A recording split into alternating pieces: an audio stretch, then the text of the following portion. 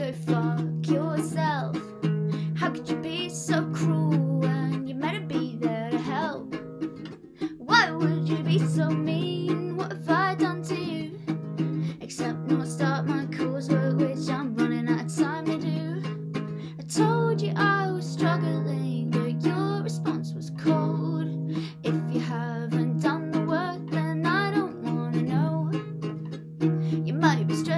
but there's no need to be that harsh. You told me not to bother even showing up to class.